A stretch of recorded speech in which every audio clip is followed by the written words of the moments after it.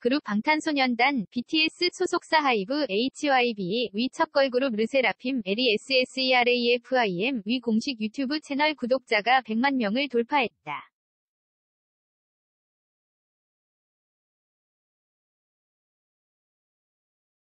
12일 소속사 소스뮤직에 따르면 이날 오전 8시께 르세라핌의 유튜브 채널의 구독자가 이 같은 숫자를 넘어섰다.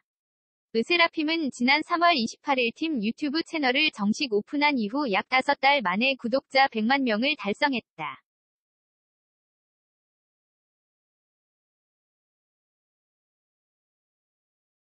르세라핌 공식 유튜브 채널은 무대 직캠과 안무 연습 영상뿐 아니라 여러 자체 콘텐츠로 팬덤 피어나에게 인기다. 멤버가 직접 기획하고 촬영하는 브이로그 콘텐츠 핌로그 핌로그엔 멤버들의 자연스러운 일상과 소소한 취향을 담는다.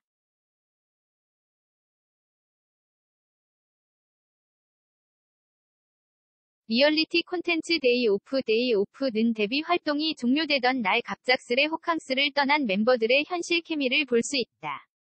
예능 콘텐츠 르세라핌 컴퍼니에서는 가상회사의 직원이 된 멤버들의 예능감을 만나볼 수 있다.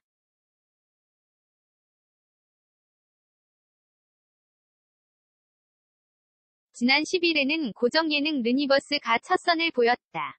버라이어티 예능 콘텐츠인 르니버스는 르세라핌과 universe의 합성어다. 현실에서 벗어나 즐거움을 탐험하는 르세라핌의 평행우주를 의미한다.